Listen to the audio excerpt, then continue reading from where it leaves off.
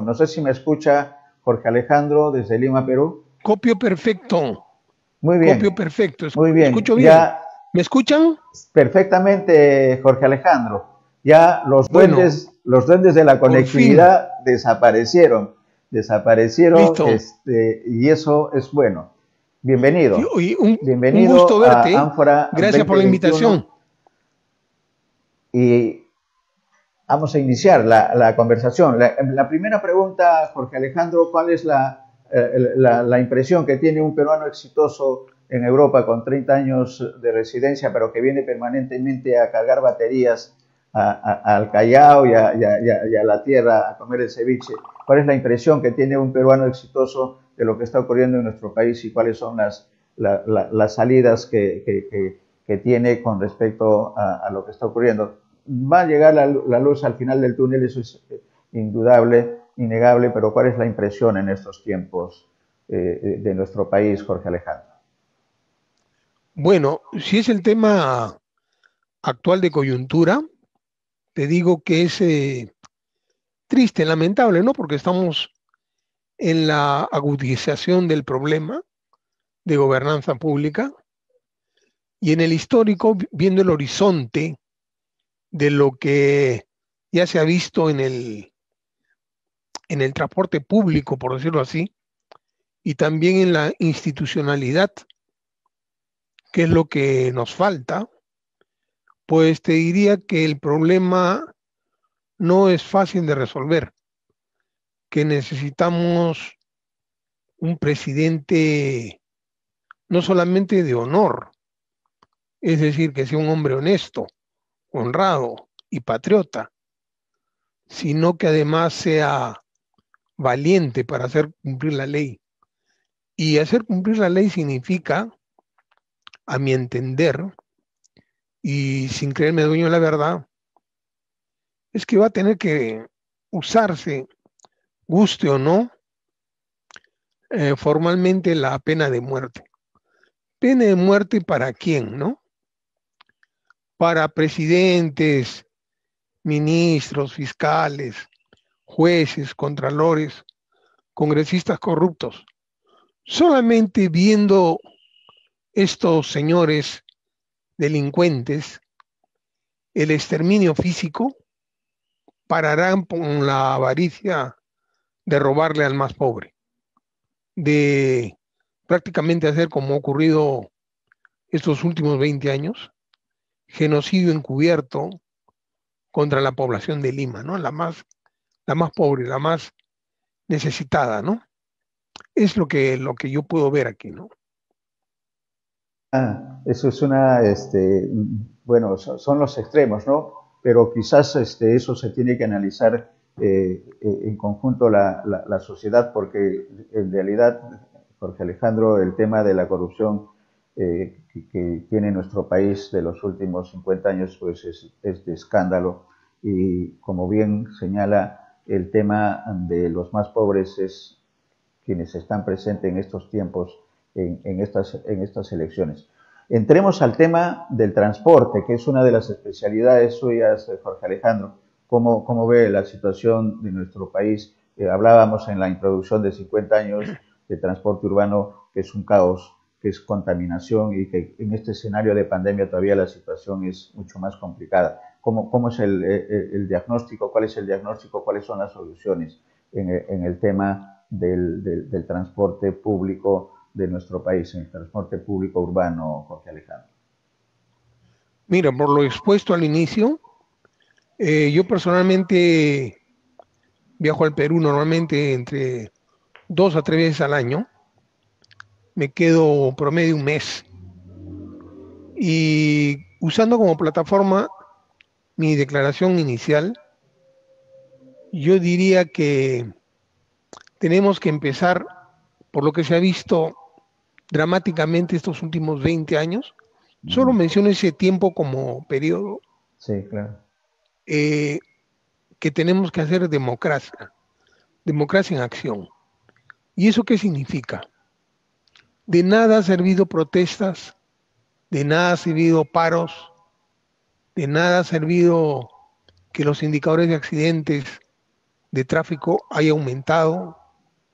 De nada ha servido que existan leyes, de nada ha servido que, que pueda reclamarse con justa razón. La pseudo autoridad no ha hecho absolutamente nada excepto agravar el escenario.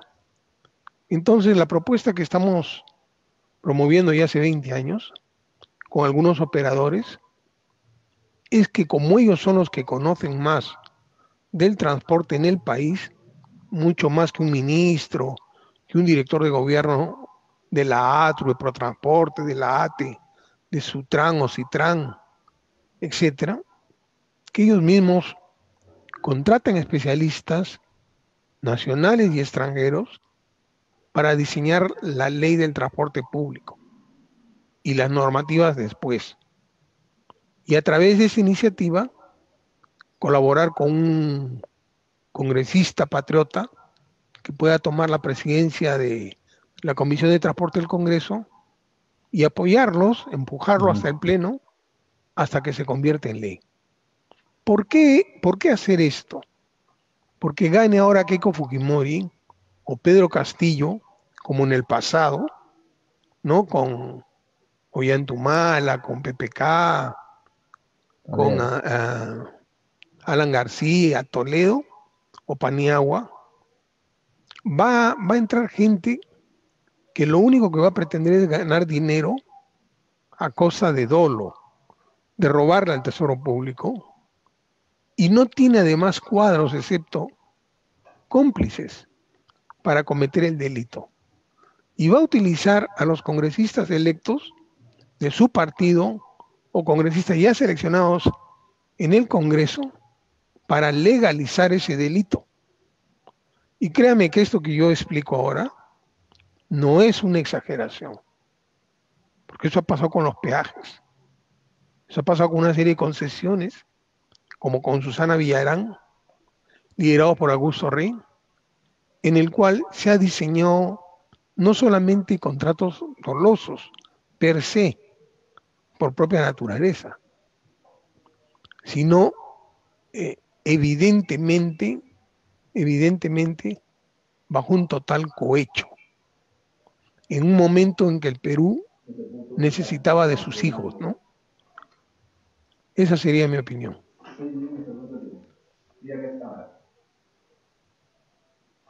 Muy bien, Jorge Alejandro. Y entonces, en ese escenario, ¿cuál sería eh, eh, el perfil de los ministros, en el caso del ministro de, Transportes y Comunicaciones y de los directores regionales eh, de Transportes?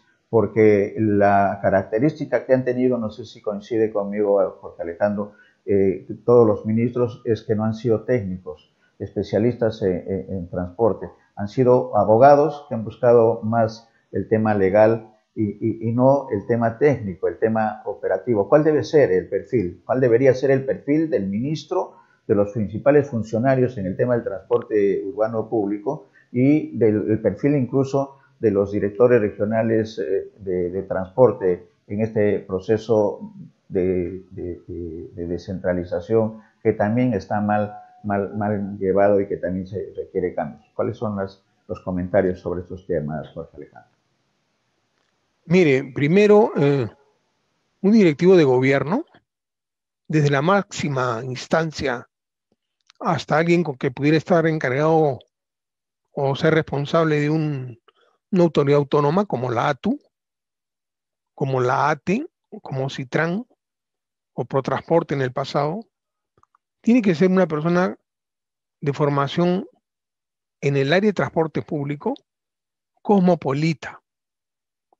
Es decir, alguien que haya ejercido pues trabajos, proyectos, ingeniería, construcción, arquitectura o gestión pues en Brasil, en Estados Unidos, en China, en, en Europa del Este o Europa, en la Unión Europea. Entonces, con ese trajín, por lo menos en una o dos regiones, ser elegido aquí en Perú, no, no por haber estudiado, ¿ah? sino haber trabajado y venir aquí a Perú a aportar conocimiento. Entonces, eso aumentaría el nivel de tasa de información y, y de ejecución de lo que de los proyectos de infraestructura y de sistemas que el Perú necesita en transporte público. Pero ¿qué es lo que ha ocurrido desde hace 50 años? Un abogado, un contador público, Elvira Moscoso, un economista, Gustavo Guerra García, el abogado Ana María Jara, han, se han dedicado a ser nombrados y lo peor, haber aceptado cargos para los cuales no tienen formación. Es como si esas tres personas, en momentos diferentes, se le hubiera encargado a uno que haga una cirugía al cerebro, el otro que haga una, una transferencia de hígado, o el otro que haga una cicatrización de alguna vena o arteria. Entonces va a matar gente. Está violando la ley de los colegios profesionales. Y ahí hay un delito que no se necesita investigar porque ha sido encontrado en clara evidencia del delito. Y luego preguntarse quién lo ha nombrado, quién ha sido el ministro y quién ha sido el presidente que los ha nombrado. Porque mientras que en el ejemplo que yo doy, que por ejemplo a Gustavo Guerra García lo hubieran puesto para hacer operaciones al cerebro y mataría gente, en el caso ese lo haría de uno en uno. Pero si usted lo nombra director de ProTransporte, va a asesinar en masa, igual que Elvira Moscoso en Sutran, igual que María Jara Risco en la ATU, porque va a aumentar el indicador de accidentes por del gobierno. Y eso si lo multiplicamos por las condiciones de la pandemia, que no se sabía qué hacer en transporte público, pues eso es un cargo público de lesa humanidad. Y esto ya nosotros nos damos cuenta. Los mismos colegios profesionales, Colegio de Ingenieros del Perú, Colegio de Arquitectos del Perú, en muchos aspectos han sido cómplices de esto. ¿Por qué no han detenido eso? Esa sería mi respuesta. Correcto. Correcto, y, eso tiene varias, varias aristas de reflexión para nuestros televidentes, ¿no? De la situación en la que está. Con las potencialidades que tiene eh, nuestro país en el tema de gas, eh, Jorge Alejandro, eh, ¿qué, recomendaciones, cuáles son las, medidas que tendría que, darse para no depender del tema del, combustible, que es uno de los grandes problemas? El gas, ¿cómo hacer para que eh, pueda mm, ser utilizada de manera masiva en los medios de comunicación de transporte público urbano. Eso es una alternativa. Eh, ¿Qué otras alternativas en áreas como Lima se puede trabajar eh, paralelas o, alternas o mm, que puedan reemplazar el acceso a zonas, en el caso de Lima, que lo conoce muy bien Jorge Alejandro, en la zona del Cono Norte, por ejemplo, que, la conectividad es bastante difícil por la vía por la tradicional, por, la, pista. Eh, ¿Qué alternativas con respecto a, estos temas, sobre todo del gas? Mira, las alternativas en gobernanza pública son ser muy radicales en el cumplimiento de la ley. ¿Qué ministro nombró a determinados directivos? ¿Y por qué violó la ley? ¿Para obtener impunidad de algo malo que hizo? o cuál ha sido la causa. Porque hay proyectos que todavía, a pesar que han sido concesionados, no rinden los frutos sociales para los cuales fueron concesionados. ¿Y cómo ha sido la recaudación? ¿Por qué se dan autorizaciones de solo seis meses o un año? Cuando ese horizonte no permite el financiamiento de la modernización del transporte público. ¿Qué pasa en ese aspecto? ¿Por qué ese cuello de botella?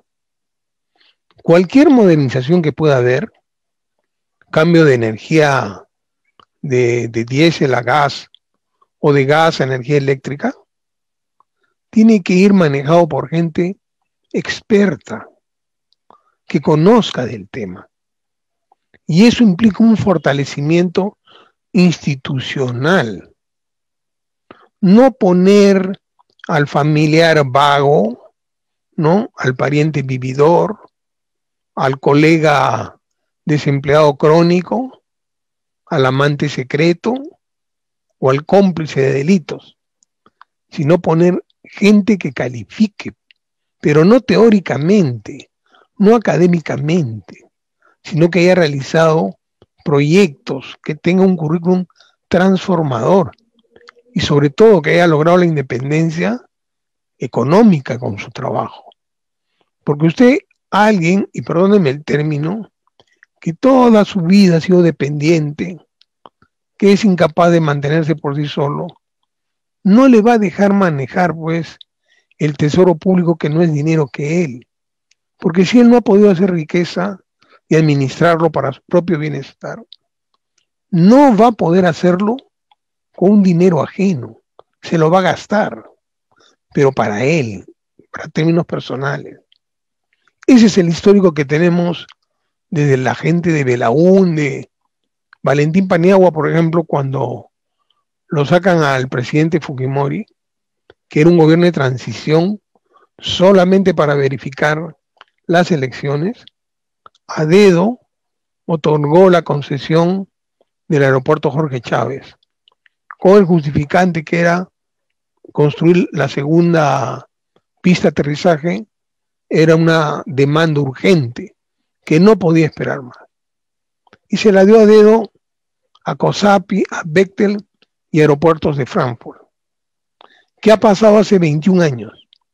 Que no tenemos segunda pista, que se concesionó simplemente para beneficiar a un amigo de Belaúnde Terry, fallecido presidente, que era dueño de los terrenos aledaños al aeropuerto Jorge Chávez. Y no se le expropió, ni se le confiscó, ni se pagó un justiprecio. Se dejó que, aumentara el, el valor para hacer un negociado. Esas cosas donde hay impunidad se van a repetir, porque tiene que hacerse sentir el peso de la ley. Esto es fundamental recordarlo. Las instituciones las hacen las personas y el comportamiento moral y ético de esas instituciones y el cumplimiento de la ley la hacen hombres de honor y las soluciones de gobierno en la gobernanza pública lo hace el conocimiento y experiencia de esos hombres de honor. Pero si usted no recluta gente calificada que conozca y que sea de honor, que tenga autoestima, que tenga temor de Dios y de su conciencia, no va a poder avanzar por mucho que haya presupuesto, dinero, condiciones sociales. Esa es nuestra historia reciente. Y vamos al bicentenario. ¿eh? Correcto, correcto. Y es una tarea difícil, Jorge Alejandro, ¿no? Gente honesta y con experiencia. Eh, pero no imposible, porque hay peruanos, acabamos de tener una entrevista también con Suiza, de, un grupo de peruanos también que están trabajando unos conversatorios integrales de, soluciones para nuestro país, peruanos que viven en el exterior, en Suiza, en España y en Japón, que van a exponer 24 exposiciones con propuestas como las que estamos conversando en este momento, en, la que tiene que darse cambios radicales, como bien lo, lo está explicando en esta entrevista Jorge Alejandro. ¿Cuáles serían las eh, medidas en el caso del transporte, en el caso de la, de la movilidad urbana en nuestro país que debería tomar el próximo presidente en los, en los primeros 100 días. Los primeros 100 días buscando esta calificación de, la, de los mejores eh, técnicos honestos eh, que, que, hay, que sabemos que, que hay no solamente en nuestro país, sino fuera del territorio nacional peruanos que puedan aportar. ¿Cuáles serían las, eh, las medidas urgentes que, debería y que debe tomar el presidente Castillo en los primeros 100 días de, gobierno, Jorge Alejandro. Mira, acá hay una cosa muy importante de no olvidar porque es nuestra historia. Tanto Keiko Fujimori como Pedro Castillo han mostrado en sus alocuciones públicas que no tienen reclutado cuadros todavía. Y lo que espera la población, especialmente por el tiempo transcurrido y el, y el, y el, y el embalse que hay de, de la necesidad de gente que quiera resolver problemas, es que espera dos presidentes, cualquiera de los dos, que entren a resolver, no aprender. No hay tiempo para aprender. No existe ese tiempo. Porque ese tiempo, si ellos entran para aprender, lo que va a haber es una eclosión social. Porque se va a sentir el pueblo defraudado de que ese presidente nombrado finalmente no sirve. Entonces, aquí la estrategia, la táctica, sería buscar elementos contrastados, no amigos, no clientes, de gente altamente calificada en el extranjero. Y acá venía la parte histórica que yo mencioné al comienzo en esta última pregunta. Nunca hay que olvidar que las grandes fuerzas liberadoras que ha tenido el Perú desde su independencia han venido del exterior. El ejército de José San Martín y el ejército de Simón Bolívar. Igual que ahora último, estos últimos 20 años, las denuncias, pruebas, acciones contra los delincuentes que hemos tenido aquí como presidentes han venido del exterior. Han venido de Suiza, de Estados Unidos, de Brasil, hasta de Bolivia. Y han sido capturados fuera.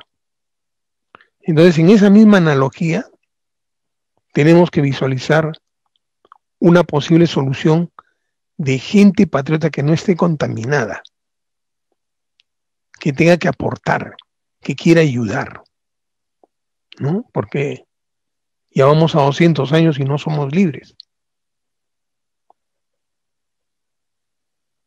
Las, las reflexiones, Jorge Alejandro, el agradecimiento por, por esta primera conversación. Se tiene y se requieren eh, soluciones y cambios drásticos en, en todo orden de cosas y la, y la corrupción es un, es un gran problema, es una pandemia como la, la, la pandemia um, sanitaria que tenemos en nuestro país. Y el transporte resulta estratégico en, esta, en ese trabajo, en esa, en esa línea y quizás algún, algún comentario adicional con, este primer, con esta primera entrevista, Jorge Alejandro, que agradecemos desde Lima, Perú. Sí, una final. Miren, es hora de que los operadores empiecen a tomar su responsabilidad con el país. Entonces, así como en el pasado, el pagar bolsas de dinero el soborno exigido en ProTransporte, en el Ministerio de Transportes o con la Municipalidad de Lima para que les puedan ampliar las fechas de sus concesiones, ganar licitaciones o ganar concesiones de ruta, los unía, porque para eso solo se unían, para juntar el dinero que le exigía o le exige la autoridad. Esa es la verdad. Yo pienso que ahora deben unirse asumir y madurar que son los propios constructores de su destino y tomar iniciativa en la gobernanza del transporte. Porque desgraciadamente, si ellos no se convierten en protagonistas de su propio destino, lo que les queda es perecer. Porque ha habido ya muchos proyectos concesionados dados que solamente han tenido como destino final la autodestrucción porque ha obedecido exclusivamente a intereses individuales de funcionarios extremadamente corruptos, avesados por la impunidad. Esa sería mi parecer.